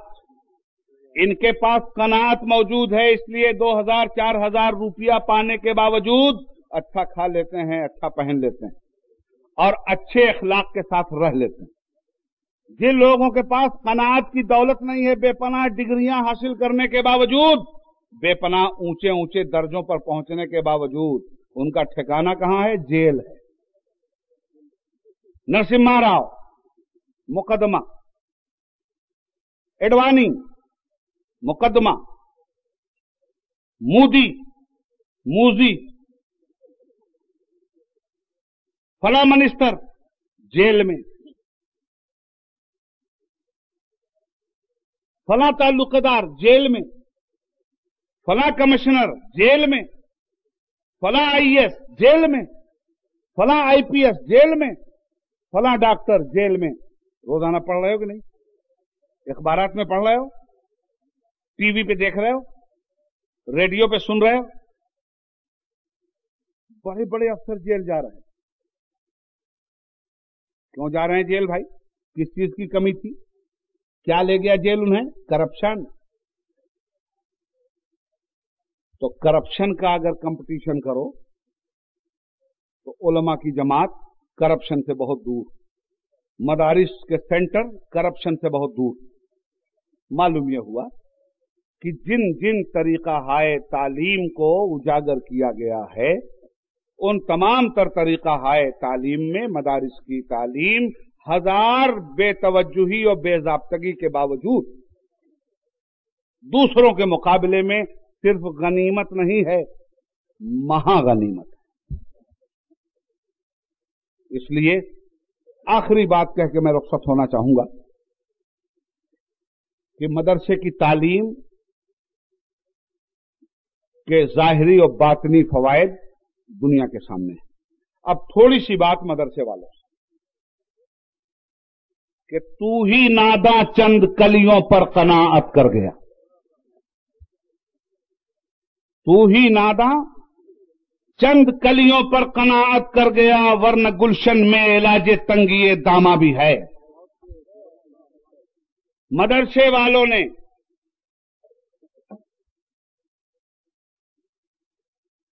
जो प्रोडक्शन दिया, मौलवी की शक्ल में, आलिम की शक्ल में, कारी की शक्ल में, हाफिज की शक्ल में उसका इस्तेमाल क्या? देखो भैया, बड़ी साफ़ साफ़ कहने की आदत है, और कहेंगे। इसका इस्तेमाल क्या है? अब जरा आपको भी झझोड़ना चाहूँगा मैं। जो कुछ मैंने समझा वो बोलूँगा। एक लाख डॉक्टर पैदा हो जाए तो एक इनकलाब आ जाता है सेहत के मैदान में। एक लाख इंजीनियर पैदा हो जाएँ, तामीर और कंस्ट्रक्शन के मैदान में इनकलाब आ जाता है। हर साल एक लाख मौलवी पैदा होता है। समाज में इनकलाब क्यों नहीं आता? हर साल एक लाख मौलवी के सर पे अट्ठारह हाथ की पगड़ी बांधी जाती है।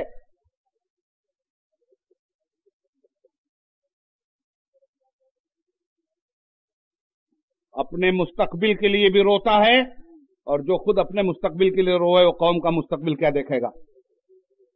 एक बड़ा बुनियादी सवाल है, गौर कीजिएगा आप लोग।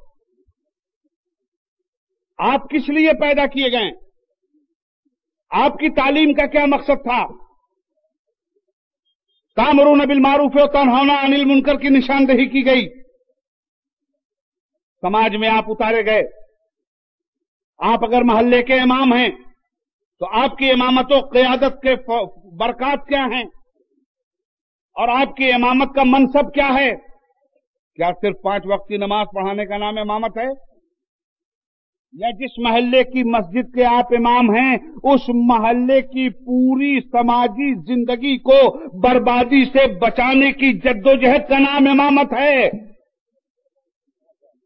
अगर ये गोशे नज़र में नहीं है तो नज़र में रखिए।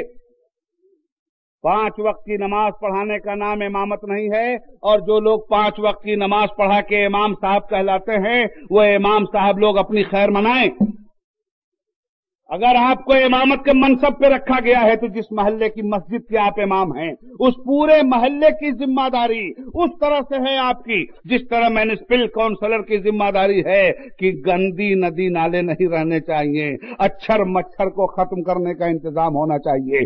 जिस तरह एक एमएलए की ज़िम्मेदारी है, उसके हल्के इंतखाब में सारी चीज़ें सही होनी चाहिए। वैसे ही एक इमाम की ज़िम्मेदारी है, जिस मस्जिद का वो इमाम है, और जितने लोग उसके मुसल्ली हैं जिस मोहल्ले में इस इन फराइज को वो अंजाम दे रहा है उसकी ज़िम्मेदारी है कि वो कोशिश करे कि उस मोहल्ले से जहालत को खत्म करने में। उसने क्या नुमाया रोल अदा किया? उस मोहल्ले के बेनमाजियों को नमाजी बनाने में उसने क्या रोल अदा किया?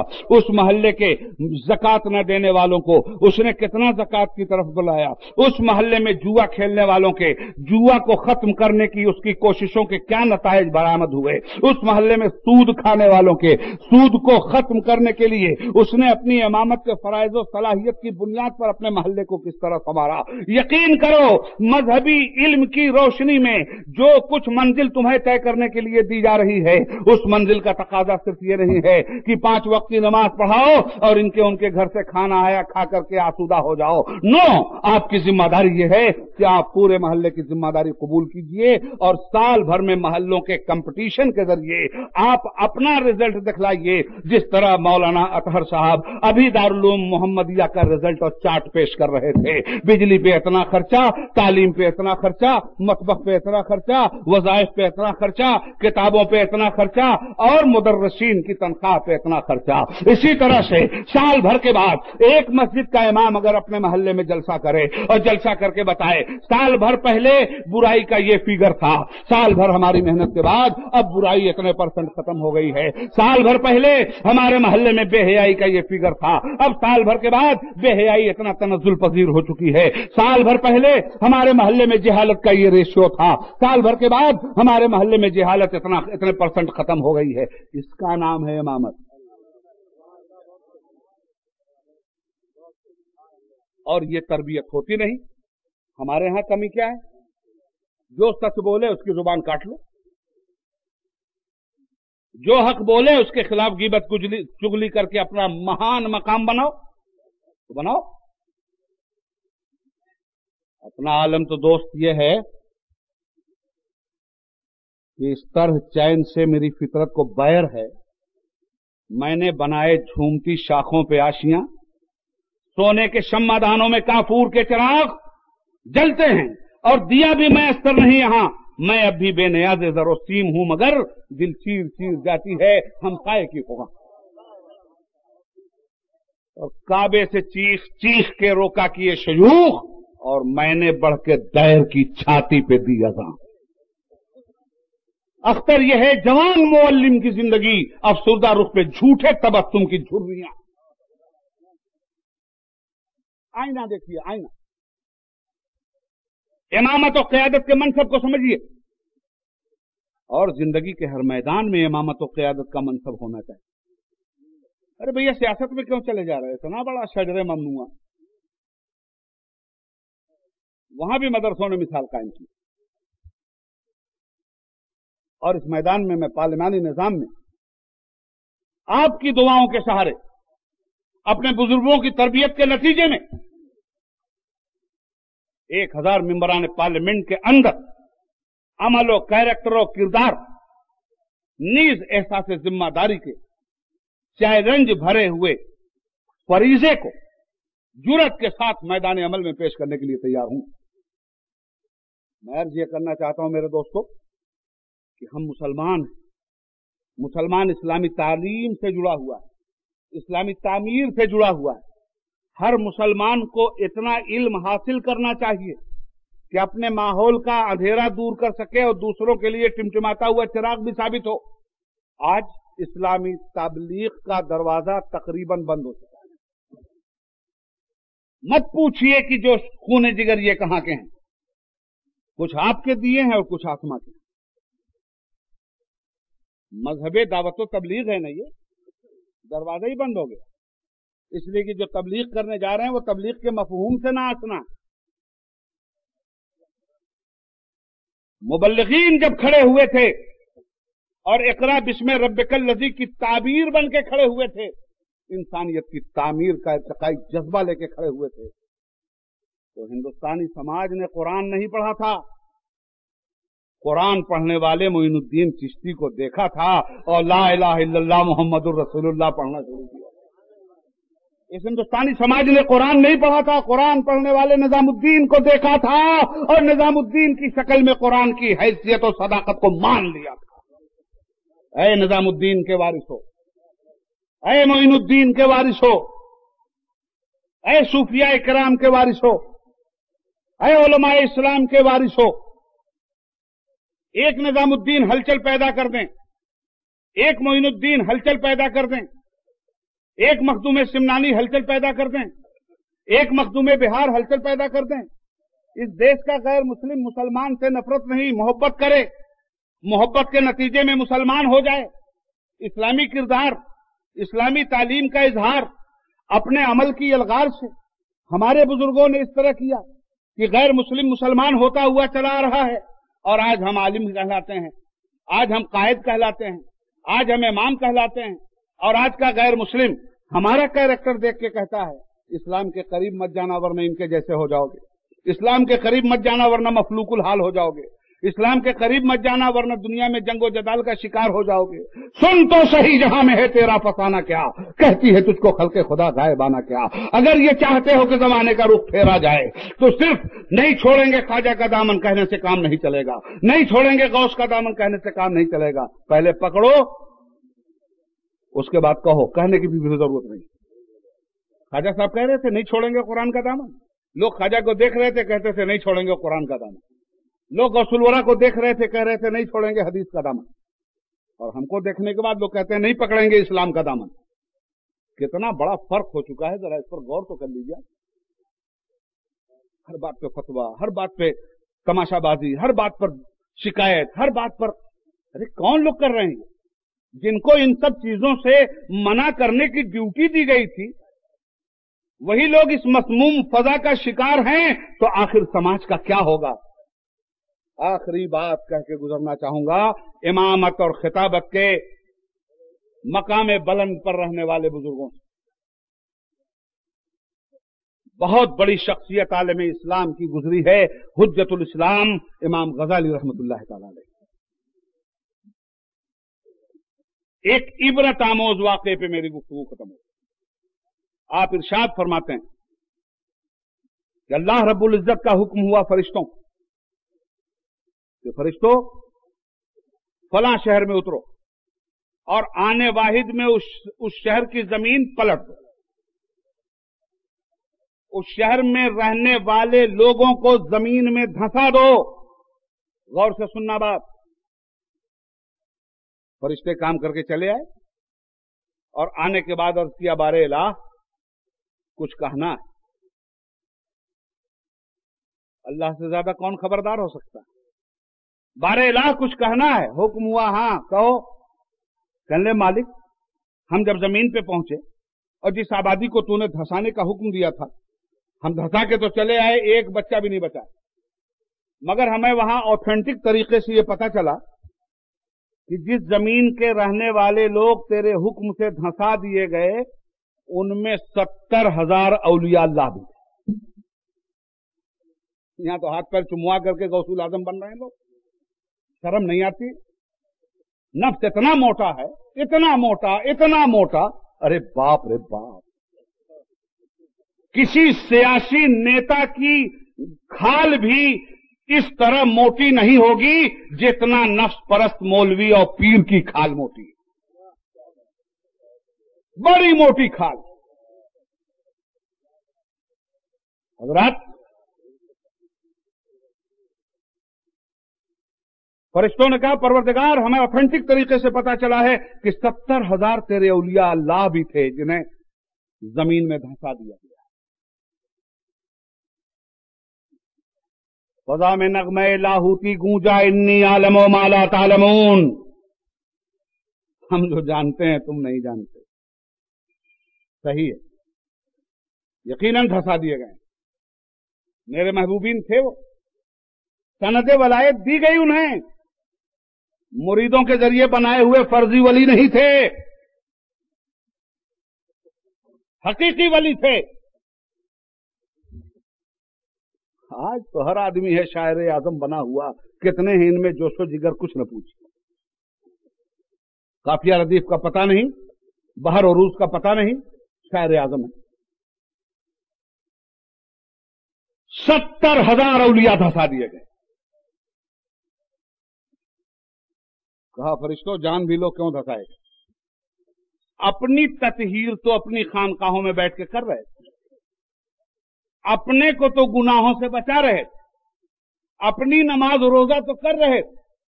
और गिरदो पेश का सारा समाज गुनाहों में डूबा हुआ था। बद अखलाकियों में डूबा हुआ था। मुखरब अखलाक का मजमुआ बन गया था। हर तरह की बेहयाई उनका सरमाया बन चुका था। खानकाहों से निकलने के लिए तैयार नहीं हुआ। वहीं बैठे रहे, अपनी ततहीर करते रहे, मैंने इस जुर्म में धंसाया है। खुदा को यह हक हासिल है कि जिसको चाहे मुजरिम कहे। मैं तो सिर्फ़ रिवायत का हामिल हूँ। इन्हें इस जुर्म में मारा गया। ये बड़े पाकबाज लोग थे बेनफ्त लोग थे, मेरे आबिद थे, मेरे जाहिद थे, सच्चे थे, मुखलिस थे, मगर जुर्म यह था। गिरदो पेश का समाज बर्बाद हो रहा था बदअकीदगी बदअमली का शिकार था, इन्होंने बाहर निकल के कोई जद्दोजहद नहीं इस रवायत की रोशनी में आज के हालात का जायजा लिया जा सकता है। कहीं फर्जी वाले टिक नहीं सकती। इसलिए मदारिस पर कितने शब खून मारे जा रहे हैं, आप बेबहरा नहीं है, आप जानते हैं। आपकी ज़िंदगी कितनी उजीरन बना दी गई है आपको मालूम? दाढ़ी रखकर इस समाज में चलना कितना मुश्किल काम हो गया? पता है? ऐसी सूरत में सिर्फ़ अपने चेहरों की दाढ़ियों की हिफाजत नहीं, समाज की दाढ़ी की हिफाजत आपके जिम्मे है। पूरे समाज की ज़िंदगी की क्यादत आपके सर पे रखी गई। और आप पर कौम का विश्वास, हज़ार शको शुभात में मुबतला होने के बावजूद मुस्लिम कौम जितना उलमा पे एतमाद करती है, किसी पे नहीं करती। अपनी अवाम को सुधारिए। बम से आप जमाने का मुकाबला नहीं कर सकते। बारूद से आप जमाने का मुकाबला नहीं कर सकते। आपके बुज़ुर्गों ने इखलाक की तलवार से जमाने का मुकाबला किया। आपके बुज़ुर्गों ने अकरब इसमें रबकल रज़ी की रोशनी में अपना कदम अमली तौर पर उठाया। आज तो मुखबिर जासूस तैयारे जहाज़ दुश्मन को तबाह कर देते हैं, तलाश करके निकाल ले आते हैं। कौन मुकाबला कर सकता है उनका जिनके पास मुखबिर जासूस तैयारों की शक्ल में मौजूद? तैयारा उड़ता है ना, जासूसी करता है ना, उसमें कोई पायलट नहीं बैठता। पता लगा लिया जाता है दुश्मन को मार गिराया जाता है दुश्मन का सुराग लगा के एटम बम मार दिया जाता। है मुसलमानों तुम हरासा मत होना। तुम ये मत सोचना कि हमारे पास कोई ऐसा अमली जौहर मौजूद नहीं है तुम्हारे पास। तुमने गौर नहीं किया, तुमने कोशिश नहीं किया। आज भी हो जो बराहीम साइमा पैदा। आग कर सकती है अंदाजे गुलिस्तान पैदा। एक राजा था, बड़ी ताकत का मालिक था। अपनी ताकत के जोम में एक फकीर का बोरिया बिस्तरा गोल कर रहा था। एक फकीर को अजमेर की धरती पर बैठने नहीं दे रहा था। अपनी फिरौनियत का इजहार कर रहा था। और फकीर ने जब अपने अखलाक से सरेंडर कर दिया तो उसने जादू का सहारा लिया। एक जादूगर को सामने रखा। जयपाल बन के वो जादूगर खड़ा हुआ। सामने आया। फकीर देखता रहा। उड़ने लगा। फकीर देखता रहा। साथी परेशान हो गए। कहने लगे, हुजूर, छह फुट उड़ गया। कहा, उड़ने दो। कहा, हुजूर, फजा में आ गया। कहा, आने दो। कहा, हुजूर, बादलों में गया। कहा, जाने दो। कहा, हुजूर, अब नज़र भी नहीं आ रहा है। कहा, कोई बात नहीं। जब सब लोग मायूस हो गए और कुफर की तरफ़ से कहा कहा जार चलने लगा तो गरीब नवाज़ ने अपने एक जासूस पर नज़र डाली, जिस पर कोई पायलट नहीं बैठा हुआ था, कोई कप्तान नहीं बैठा हुआ था। गरीब नवाज़ ने अपने जासूस पर नज़र डाली, मेरे जासूसी तैयारे जरा उड़, और उड़ के पता लगा कहाँ है। उड़ा खड़ा हूँ, ये जासूसी तैयारा था गरीब नवाज़ का। उड़ता गया, ये भी फजा से गुजरा, और देखा आपने मुजरिम को किस तरह धर दबोच के लाके खड़ा कर दिया। और फिर क्या से क्या हो गया? इसलिए अर्ज़ ये करना चाहता हूँ कि तेरे दामन में है किस लालो जवाहर की कमी?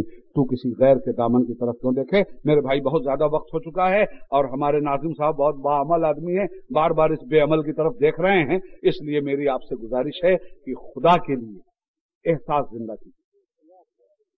नफरतों की दुकानें न खोलिए, न खुलने दीजिए।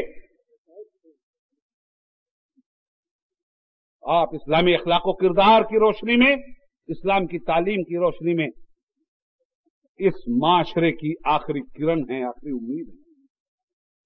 गैर मुस्लिम कौम नफरत के लिए नहीं है, मोहब्बत के लिए है। गैर मुस्लिमों के साथ वो रवैया आप मत अख्तियार कीजिए, जो रवैया लोग अपने जाहिलियत के इज्म की बुनियाद पर आपके साथ अख्तियार करते हैं। आपके पैगंबर सल्लल्लाहु अलैहि वसल्लम ने गैर मुस्लिमों को अपना मेहमान बनाया है। आपके पैगंबर ने गैर मुस्लिमों के सामने अपने इखलाक उजमा का जलवा दिखलाया। आपके पैगंबर ने अपने पड़ोसियों का हक अदा करने की आपको तलकीन की है। अगर आप ऐसी ऐसी बातें अपने समाज में लेकर के आइए, इमाम साहब एक मोहल्ले के इमाम हैं, उस मोहल्ले में कुछ गैर मुस्लिम भी अगर बसते हैं, उनके सामने इस्लामी अखलाक की तालीम पेश की जाए। इस्लामी रवादारी की तालीम पेश की जाए, इस्लाम के नज़रिए रहमत को रखा जाए, अपने पड़ोसी का हक अदा करो। ये इस्लाम का नज़रिया तालीम ही तो है। पड़ोसी का हक अदा करो। कहीं कहा गया कि मुस्लिम पड़ोसी का हक अदा करो।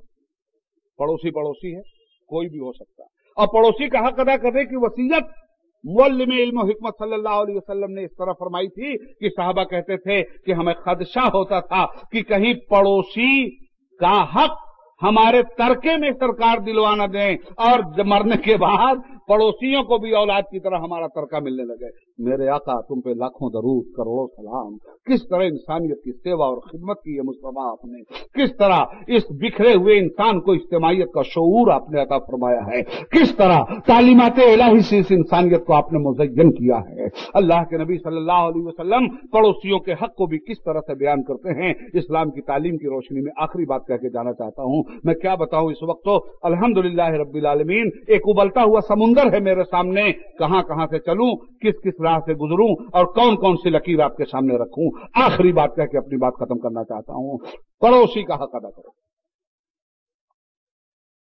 पड़ोसियों के हक? एक पड़ोसी ऐसा है जिसका एक हक। बीमार है तो उसकी इयादत के लिए जाओ। भूखा है तो उसको खिलाओ। मुस्लिम हो कि हिंदू, सिख हो कि ईसाई। परेशान हो तो उसकी परेशानियाँ दूर करो। इखलाकी तौर पे उसकी मदद करो, माली तौर पे उसकी मदद करो, जैसे भी हो सके उसकी मदद करो। ये पैगंबर इस्लाम सलाम का फरमान है अपने एक पड़ोसी के लिए। और उसी के साथ साथ एक गैर मुस्लिम पड़ोसी है, एक मुसलमान पड़ोसी है और एक रिश्तेदार पड़ोसी तीन नवैयतें हो गई। गैर मुस्लिम पड़ोसी का एक हक है पड़ोसी होने का। मुसलमान पड़ोसी का दो हक है, एक पड़ोसी होने का, दूसरा मुसलमान होने का। और रिश्तेदार पड़ोसी का तीन हक है, एक पड़ोसी होने का, दूसरा मुसलमान होने का, तीसरा रिश्तेदार होने का। कौन है जो इस तरह से बयान करेगा? ये इस्लामी तालीमत हैं जिन पर अमल पैरा होने के बाद कायनात आलम में इस्लाम फैला था मुसलमानों के ज़रिए। और अमल न करने की बुनियाद पर हम सिकुड़ते जा रहे हैं। अल्लाह रब्बुल इज़्ज़त हमारे मदरसों को सलामत रखे और हम तमाम मुसलमानों को इस्लामी तालीम पर अमल करने की तोफीक अता फरमाए। तकरीर में अगर कोई शरय गलती हुई हो, उलमा की मौजूदगी में खुल्लम खुल्ला तोबा करता हूँ, उन मक्कार मौलवियों को खुश करने के लिए नहीं, अपने रब की रजा के लिए। फरिश्ते नोट कर लें ताकि क्यामत की कोशिश से बच जाए। यार ज़िंदा सोहबत बाकी, खूब की सैरे चमन फूल चुने शाद रहे बागबान जाता हूँ, गुलशन करा आबाद रहे। वह सलामो अला मन तबल होदा। इस्लाम जिंदाबाद मोल में इस्लाम पाइंदा। ये पेशकश है रजा एंटरप्राइजेस की। हमारा पता है रजा एंटरप्राइजेस, दुकान नंबर तीन, छोटा Sonapur. Najd Akbar Peer Bhai college, Maulana Shaukat Ali road, Mumbai number आठ। Telephone number two three zero nine one six two nine.